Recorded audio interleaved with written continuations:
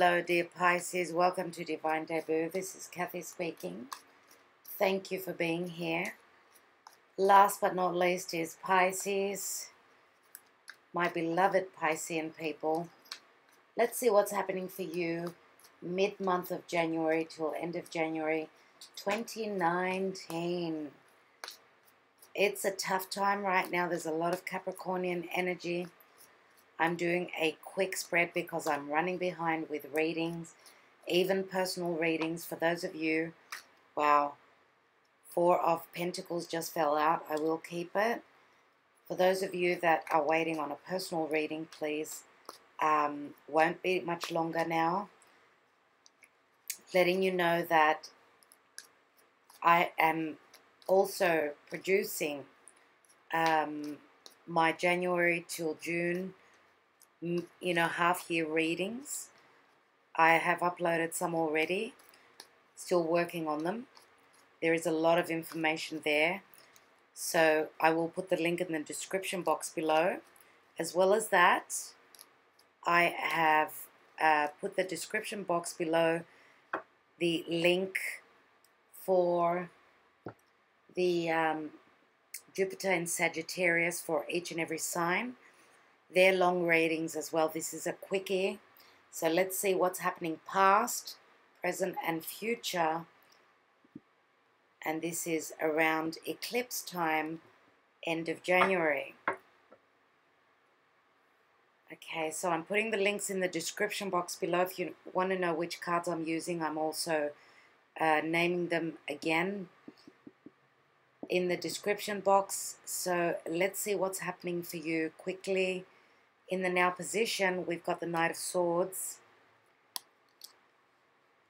And the near future, we've got the Knight of Cups. So there are two knights here, two very different energies. Let's see what the, um, sorry about that. My kitty was scratching the door. She wanted to get out. So uh, let's see what the general energy is with a major arcana for Pisces. Please, spirit guides and angels what's the general energy that Piscean people are going through. So Temperance, Sagittarius, okay? So, truth. The truth is being said. Two people are going in different directions, I see here. Let's see in your love life. Oh, oh wow. What fell out? Past life, relationship. Okay, so you have known each other before. This is a karmic relationship that you are dealing with. Now, sometimes I see this card as being very passionate, but it's very karmic. So there is a strong connection here. You may be dealing with someone who's at a distance from a different background, a foreign land, foreign culture, foreign religion, um, and you could be at a distance to them. Uh, let's take yeah, I was going to take one more card. So, this could be the one. You've already met the romantic partner you seek. So, this is, there's two messages here. Because I said there's two knights. So, past life relationship could be the uh, Knight of Swords, which would be an air sign. So, Gemini, Libra, Aquarius.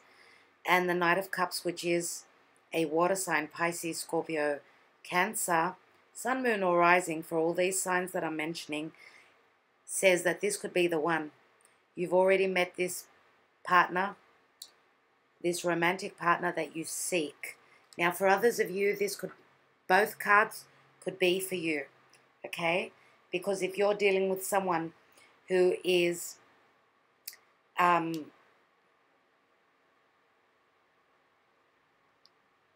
who has been holding back on their feelings towards you. They've been minding their heart because they're scared they're going to get hurt. Um, the Knight of Swords can be quick energy, quick communication. Um, and this could be also going quickly to the past, you know, communicating about the past, I want to say.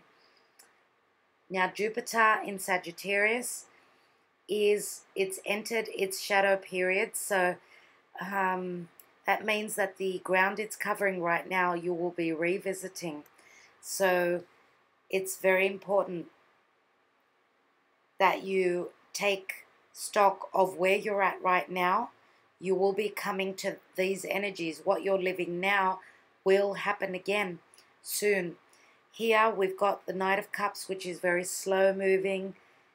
You know, wear their heart, they wear their heart on their sleeve. So you may, may be dealing with, we've got Earth, Taurus, Virgo, Capricorn. Usually this is my Taurus card. Uh, here we've got Aquarius, Gemini, Libra. And here, as I said, is Pisces, Scorpio, Cancer. Now, two very different energies. It could be that both the knights, one the air sign, could have earth as well, or the other way around. And then we've got the water sign, which could have air or earth. And we've got Sagittarius here as well. So that could be in the mix as well. Let me take another card. I want to take a card on the Knight of Swords.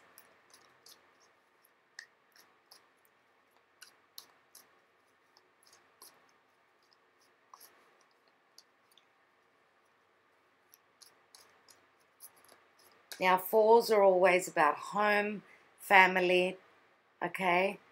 And um, some of you are being very careful with your finances. Quickly, though, there's going to be a change, I feel. The Temperance card is, you know, Sagittarius, and Sagittarius is seeing the bigger picture. This is going on an adventure, speaking the truth, this is all about the truth. So I feel that there is communication here about emotions, about um, physical, tangible things, money, money matters as well. What's this? Um, what's this Knight of Swords? And we've got the Death card. So death and transformation. Scorpio is here. We've got Scorpio, Sagittarius. So it could be someone who's on the cusp Scorpio is whatever speech, whatever communication, whatever action is being taken here quick, quickly, is going to bring in the transformation. And that does speak of, of course, the eclipse energy with a full moon in um, the full moon happening, which is the lunar eclipse at on the cusp of Cancer and Leo. So I believe that there is a transformation in anything to do with heart matters, um, home matters, family matters. So, because this is the last eclipse of the axis Leo Aquarius, the first eclipse, if I'm not mistaken, um, it may have been even the second eclipse, I can't remember right now, but the full moon lunar eclipse, August 2017, was massive. It was, I think it was right on the south node on Mars. It was like squaring off to Uranus, which is re- it was really tough energy. So what was happening for you then? Think about that time. Know that I feel that there is a culmination right now with that eclipse that we're going to be meeting. We're already in the energy. That eclipse is on the 21st of January. So let's look at the Knight of Cups. And we've got the Nine of Wands, protecting what you've built, uh, protecting, again, your feelings. There's been protection of feelings and no clarity. Someone's been put through the wringer. This has been tough. But you're at the end. Okay? Now, if this is an offer for work, for change with anything, money matters, family matters, it looks like you're at the end. The offer is coming through. You're still standing. You've got the energy. Mars is in Aries right now. You can do this. Let's take some Sibillas. Um, I feel as though there's been issues in the past, but the transformation is going to happen. Like something is dying, something is changing. So this brutal energy and a card just dropped in my lap. Okay, there's going to be healing. And again, we've got Scorpio. Look at that, number 13. That's the death number. Dottore is healing. Okay, healing. Speranza is fear or hope. So getting over any fear. There is hope here that you are moving on to something much more calmer, something much more fulfilling. There is an offer that's coming through right at the last minute. And here we've got Viaggio. Again, we've got the Voyager. The Knight is coming through. Um, this is Sagittarian energy. Someone is coming in to visit. Now, if someone is not coming in to visit, then you're quickly um, traveling. We again, Temperance, Sagittarius. So Venus is near, very close to Jupiter in Sagittarius. Some of you may be, may have uh, created something that you are, that you have been hoping to. Um, it's as though you've put everything in it, all your energy, with the Knight of Knight of Swords here. There's, you know, there's been a lot of logic, a lot of intellect, a lot of work being put on this, and quickly the change is coming. So quickly, maybe the offer is coming through. Whatever you've created will expand. That's what Sagittarius is all about. It's all about expansion. Now, Venus is there, so Venus, if it's a project, she will expand. She will give back to you. Okay? Now, Sagittarius is all about truth as well. So, truth will be had here. And that's where the transformation will, will be happening. So, someone's been holding back on, on information.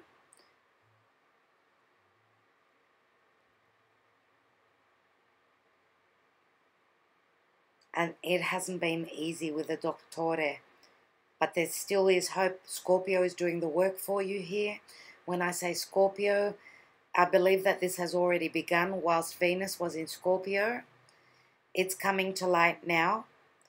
Um, this could be the one. So if you are meeting, if you are dealing with someone who is like the Knight of Cups, they wear their heart on their sleeve. It looks as though, you know, they've been taking two steps forward, one step back. They've been through a tough time, and but they're standing in their truth right now. They've been fighting for what they love. Um, and they've had, I would say, people, situations that were against them, right? But I think that with Mars in Aries, there is a lot of passion a lot of passion and strive and energy to get through whatever this is.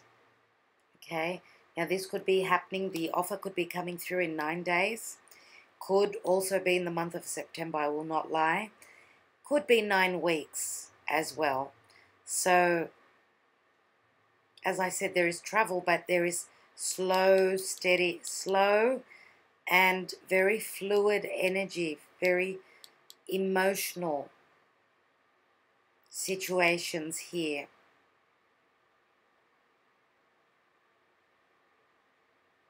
Okay.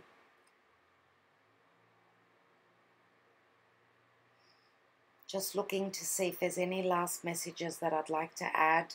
I want to say that with so many planets in Capricorn, Saturn and Mercury were together a couple of days ago. There are difficult conversations, okay? But Mercury is moving towards Pluto right now, and Pluto is the ruler of Scorpio, so that's whatever has been hidden will be talked about. And that's where the, the information will be coming through, okay? And um, with the Sun in Capricorn, the Sun could be the father. Capricorn is the father, the, the authoritarian, the boss, the law, um, the sun has just moved over Pluto, so this is clarity on things that have been hidden. As well as that, it's like transforming things and healing.